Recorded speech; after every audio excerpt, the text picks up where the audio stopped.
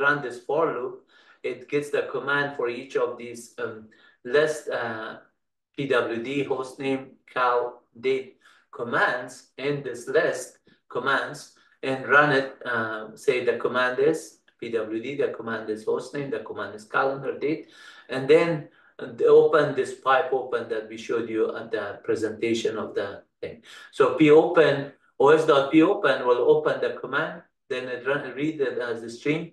This time we will not get the zero output because it just uh, is much cleaner.